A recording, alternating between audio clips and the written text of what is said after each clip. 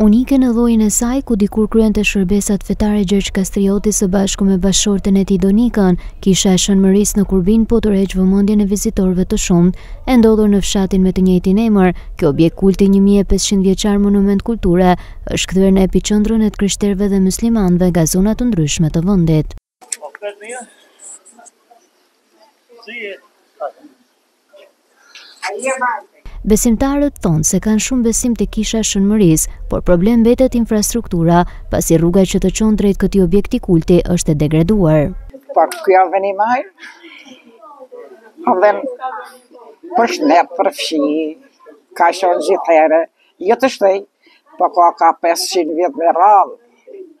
A, a do me thonë, veni shej. E, ju jeni besimtarë? Ë, musliman.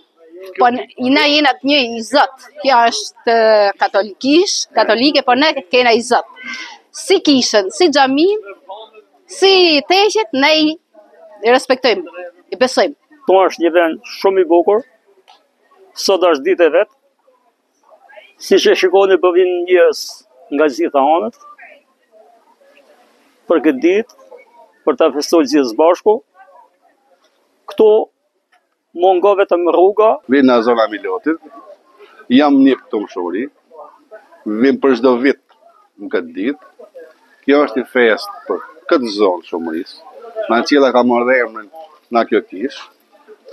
Është një vend i shenjtë. Mua është kënaqësi se vij edhe te dajat, vij edhe te kisha. Po ka edhe njerëz që s'vijnë nga problemi i kësaj rruge. Kjo është një kishë shumë vjeçare. E njohin të gjithë. Ka edhe vende të tjera, por kjo është një kishë ndër ma të vjetrat në këtë zonë. Prej gjitha anëve për Zotin vijnë.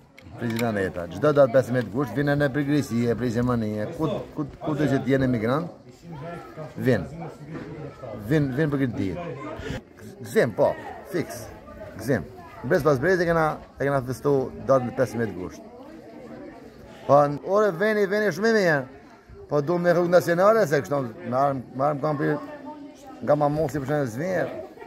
Makina kapin, bon sa pëso për hegrash. Bazilika mesjetare e Shënmërisë ndodhet në fshatin ku pjesa më e madhe e banorëve janë myslimanë, por pavarësisht besimit, ata kujdesen dhe luten në këtë objekt kulti. E ndërtuar me një teknikë romake, kisha konsiderohet një ndër objektet më të rralla të kultit në Shqipëri.